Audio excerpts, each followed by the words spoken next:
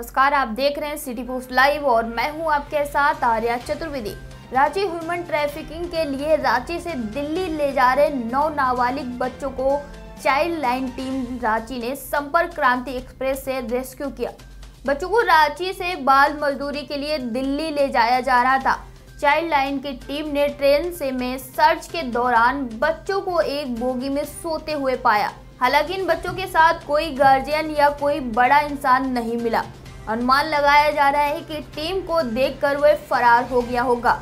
इन बच्चों में आठ लड़की और एक लड़का मिला है, जो रांची, खूटी, पश्चिम सिंह भूम और एक बच्चा आसाम का बताया जा रहा है। इन सारे बच्चों को सी डब्ल्यू सी भेज दिया गया है। इसके बाद वहाँ से बच्चों को सेल्टर होम भेजा जाएगा। फ़िलहाल अब तक के लिए इतना ही और अपडेट जानने के लिए बने रहिए हमारे साथ और देखते रहिए सिटी पोस्ट लाइव